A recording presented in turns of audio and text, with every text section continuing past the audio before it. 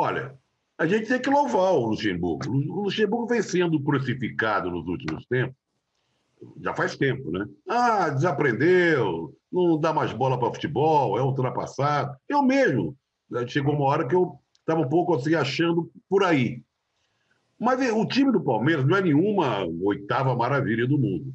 Mas a gente tem notado que no decorrer do brasileiro, ele tem colocado um time que não é tão agradável de se ver, não é um negócio extraordinário, mas você sente a mão do técnico.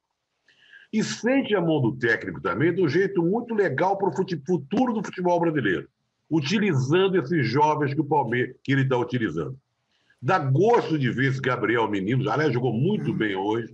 O Patrick, o Veron, que é um garoto encantado, já tinha entrado contra o Bragantino. Aliás, as substituições do, do Luxemburgo, hoje, por causa do Luiz Adriano que se machucou, foram as mesmas na frente. O William e Gabriel Veron. E os dois fizeram os gols na virada contra o Bragantino e fizeram gols e hoje.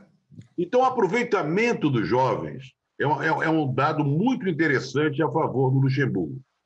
O Palmeiras tem um elenco, se você botar no papel, muito superior a muitos times, do, do, talvez seja o melhor elenco do futebol brasileiro. Se você botar jogador por jogador, posição por posição. Não vinha jogando rigorosamente nada. Agora começa a se encontrar e você olha a tabela, já está ficando lá em cima, encostando no Flamengo, no São Paulo, no Atlético Mineiro. Ou seja, o Palmeiras será candidato ao título e o trabalho do Luxemburgo começa a aparecer. Hoje, inclusive, o menino lá, o Lucas Lima, que também andava por baixo, foi aproveitado como titular e teve uma excelente participação. Então, é claro que ele tem peças que ele pode testar, que ele pode utilizar, mudar a escalação de um jogo para outro, mas tem sabido utilizar, pelo menos nessas últimas partidas.